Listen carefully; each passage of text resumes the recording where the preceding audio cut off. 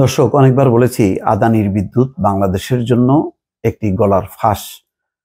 সেটি প্রমাণ হচ্ছে।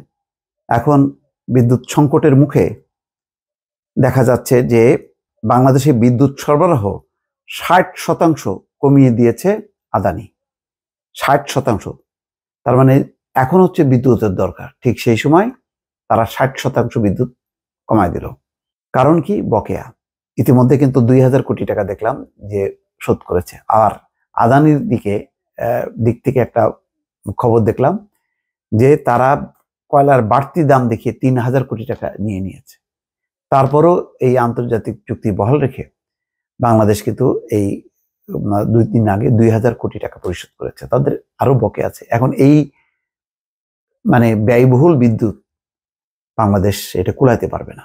এটা যে কোনো দেশের জন্য একটা মানে মরার উপরে খাড়ার ঘা হিসাবে চিহ্নিত থাকবে। বকেয়া পরিশোধে বিলম্ব হওয়ার অজুহাতে বাংলাদেশে বিদ্যুৎ সরবরাহ ষাট শতাংশ কমিয়ে দিয়েছে ভারতীয় কোম্পানি আদানি পাওয়ার। ব্রিটিশ বার্তা সংস্থা রয়টার্সের প্রতিবেদনে এই তথ্য জানানো হয়েছে। রয়টার্স বলছে, আটশো মিলিয়নের বেশি বকেয়া থাকায় বাংলাদেশে বিদ্যুৎ সরবরাহ কমিয়েছে আদানি পাওয়ার ভারতের পূর্বাঞ্চলীয় ঝাড়খণ্ড রাজ্যে আদানির গোড্ডা পাওয়ার প্ল্যান্ট থেকে বাংলাদেশে বিদ্যুৎ সরবরাহ করা হয়।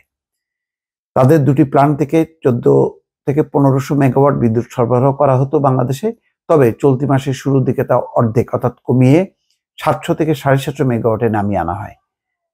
Power grid company of Bangladesh উপাত্ত এবং পিডিবির এক কর্মকর্তার বরাতে রয়টার জানিয়েছে, বৃহস্পতিবার আবারও এক ধাপ কমিয়ে তা পাঁচশো বিশ মেগাওয়াটে নামিয়ে আনা হয়েছে। আরও কমান, অর্ধেক অর্ধেক থেকে আরও কমাচ্ছে মানে ফর্টি পার্সেন্ট অন্তর্বর্তী সরকারের জ্বালানি উপদেষ্টা ফাজুল কবির খান বলছেন, আমরা ধীরে ধীরে বকেয়া পরিশোধ করছি এবং কেউ সরবরাহ বন্ধ করলে বিকল্প ব্যবস্থা নেব। আমরা কোনো বিদ্যুৎ উৎপাদনকারীকে আমাদের জিম্মি করতে দেব না। জিম্মি না হলেও এক ধরনের তো জিম্মি। এই যে এখন তো বিদ্যুতের ক্রাইসিস কাগজে কলমে আমাদের প্রচুর বিদ্যুৎ। আদানির বিদ্যুৎ সহ যদি যোগ করা হয়, তাহলে তো কখনো এক সেকেন্ডের জন্য তো বিদ্যুৎ ঘাটতি থাকার কথা না। কিন্তু গ্রামে গঞ্জে কি পরিমাণ লোডশেডিং রাজধানীতে লোডশেডিং তার মানে হচ্ছে যে আমরা প্রয়োজনীয় বিদ্যুৎ পাচ্ছি না। আর কুইক রেন্টাল এটা তো মানে একটা বড় ধরনের একটা ফাড়া। এই চুক্তিগুলি মানে কি এখনও বহাল আছে নাকি বাতিল করছে আমি যাই না।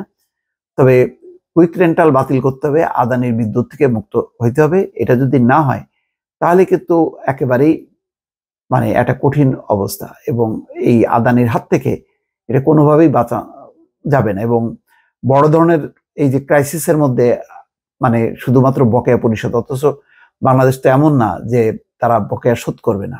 শেখ হাসিনার সময়ও কিন্তু বকেয়া ছিল, তখন কিন্তু তারা বিদ্যুৎ সরবরাহ কমায়নি, কিন্তু এখন কিন্তু তারা কড়া গন্ডায় কিন্তু হিসাব নিচ্ছে, যেটা খুবই দুর্ভাগ্যজনক যে শেখ হাসিনা সময় যেহেতু চুক্তি হয়েছে শেখ হাসিনা তাদের প্রিয় সরকার, সুতরাং ওই সময় তারা বিদ্যুৎ সরবরাহ অব্যাহত রাখল।